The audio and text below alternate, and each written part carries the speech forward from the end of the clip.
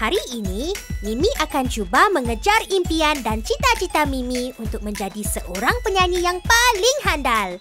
Tetapi, bolehkah saya mencapai cita-cita ini? Mungkinkah saya perlu pertolongan dari Kak Fifi?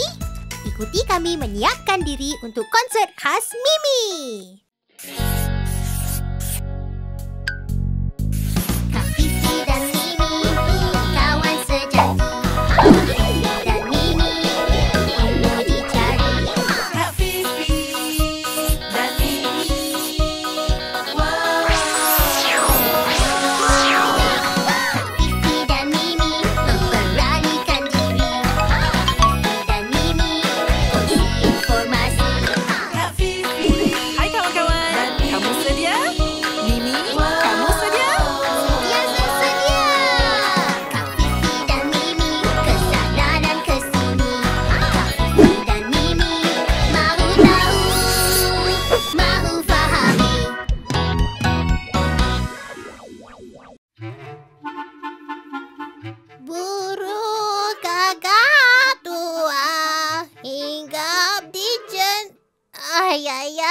Susah sekali untuk pastikan nyanyian saya betul. Kawan-kawan, di dalam segmen sebelum ini, saya sudah belajar bagaimana hendak menyanyi dari Abang Rudy Joe. Kita juga sudah membuat alat muzik kita, drum bercahaya dalam gelap. Tetapi... Oh, hai Mimi. What's the matter? Ah, Kak Fifi, saya tak tahu. Oh, kawan-kawan, saya tidak tahu apa yang saya rasa sekarang. Ada rasa kecewa, sedih dan juga takut. Saya tidak tahu kalau Kak Fifi boleh memahami perasaan saya.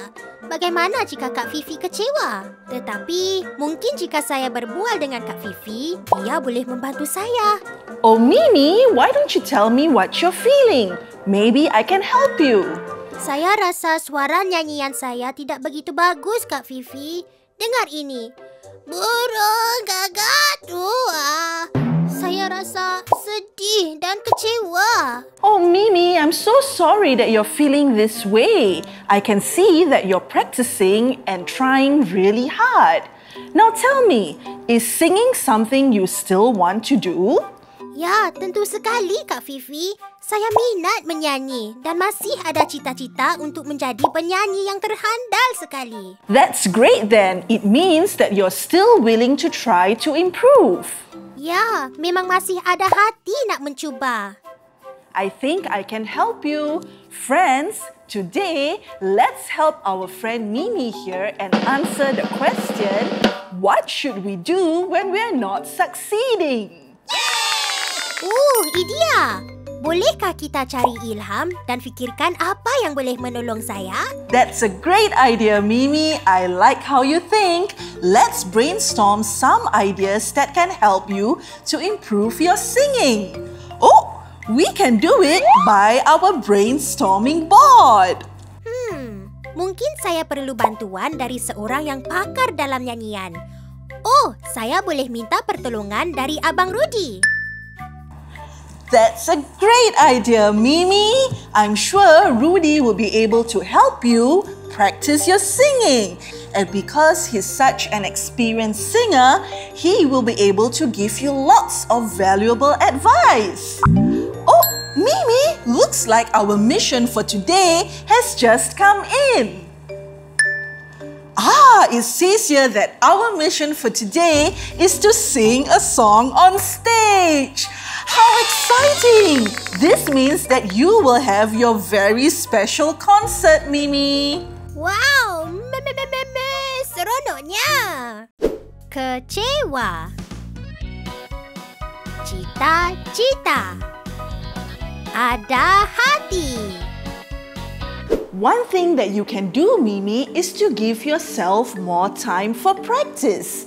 Do you know the number of hours it takes to practice to be an expert level at something? Do you think it's 10 hours of practice, 100 hours of practice, 1,000 hours, or 10,000 hours? Wow, banyak sungguh nombor-nombor ini. Kawan-kawan, kita boleh baca nombor-nombor ini mengikuti nilai tempat mereka. Contohnya, lihat nombor yang tinggi sekali ini. Nombor yang paling kanan bernilai persatu. Jadi, kita boleh membacanya seperti biasa. Di dalam contoh ini, nombor tiga. Nombor yang kedua dari kanan bernilai berpuluh-puluh dan kita menambahkan perkataan puluh di nombornya. Contohnya, tujuh puluh.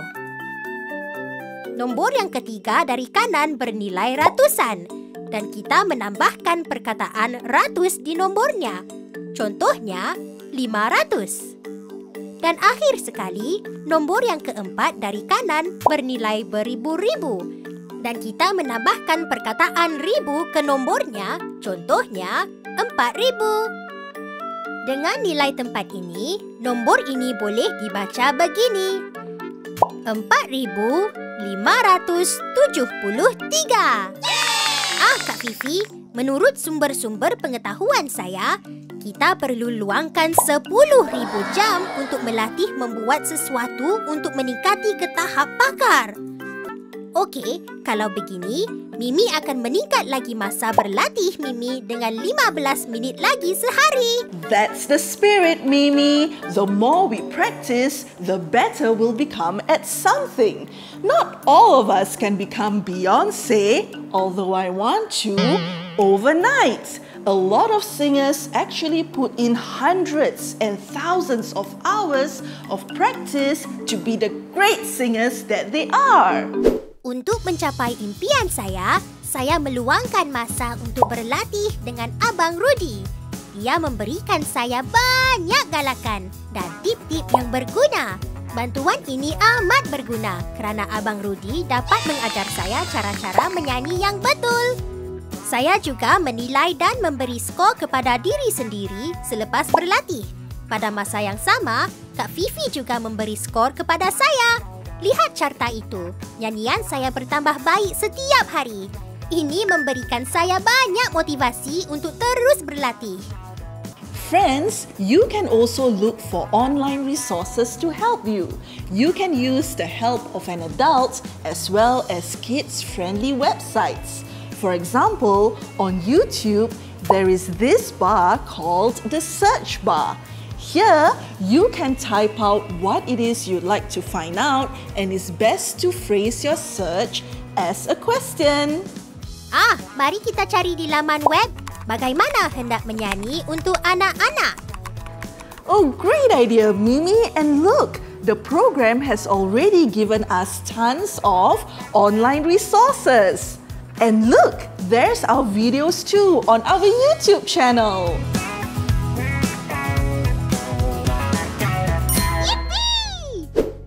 Sepuluh.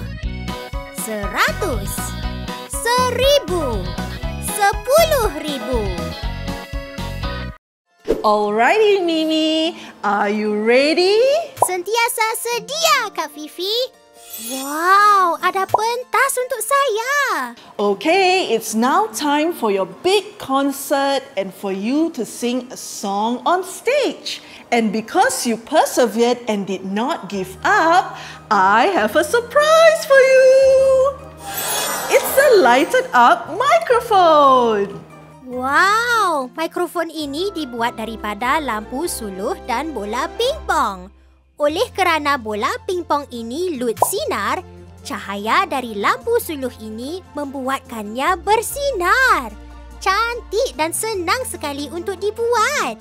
Terima kasih Kak Fifi. Burung kakak tua hinggap di jendela.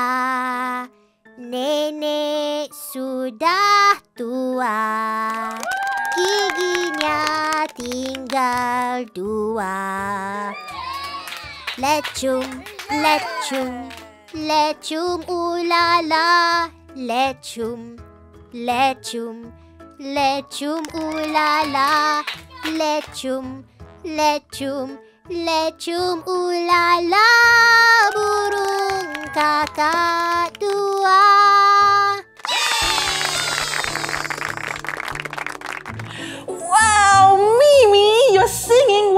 So incredible! Your voice definitely improved so much from when we first started. I'm so proud that you did not give up. Otherwise, we wouldn't have been able to enjoy your concert. Oh, Mimi, looks like our mission for today has just been completed.